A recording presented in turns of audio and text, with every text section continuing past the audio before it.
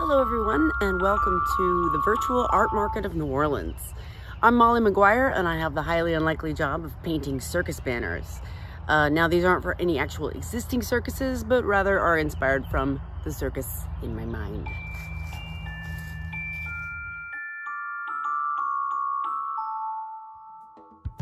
I was so fortunate to be commissioned this year by the illustrious krewe of Rex to create their proclamation poster for Mardi Gras 2020. This included giving a speech with Mayor LaToya Cantrell, signing a lot of posters, and it even got me coverage in the local news.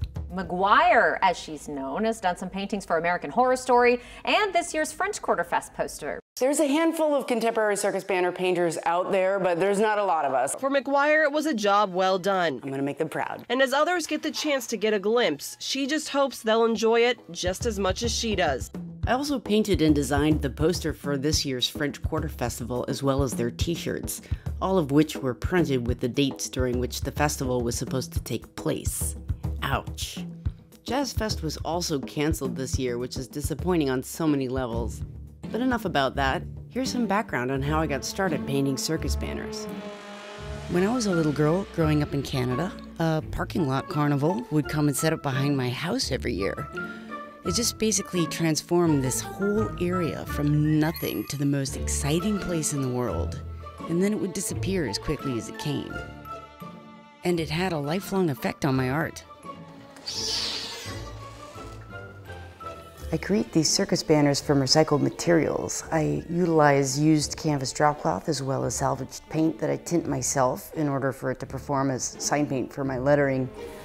Uh, it's all recycled materials from movie sets. It was almost like as soon as I decided I was gonna make circus banners, everything clicked. Like and not to sound woo-woo, but like just in the universe, coincidences started happening again. Like I immediately got called by American Horror Story to do all the circus banners for season four, Freak Show. That was in a week of me deciding that I'm just gonna do circus banners. I got that gig. Painting presents the biggest challenges I've ever experienced in my life. It's absolutely the most versatile and the most challenging medium I've ever worked in. I paint because I feel that that's the medium in which I can express myself the best. I have to paint because I can't help it. Most of my ideas are drawn out in their entirety before I pick up a brush.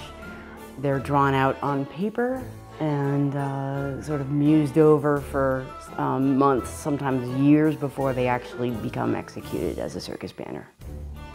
New Orleans inspires me on multiple levels. Uh, the food, the music, the culture, it's just an endless uh, source of inspiration and subject matter for my paintings. I always knew I was going to be an artist, but interestingly enough, there was sort of a 20 year sidetrack where I just ran away with a band and started playing music. Being in a band was very much like being a part of a circus. It was fun, I got to travel, made a lot of friends.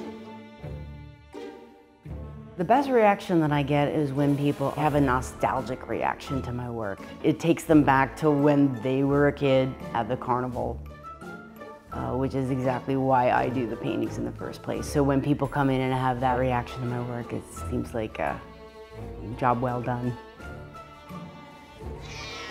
Do I feel fortunate? Absolutely. I get to wake up every morning, paint circus banners all day. It's pretty nice. Wouldn't trade it for anything, really. It's like a dream come true. I've been working my whole life for this. So here I am.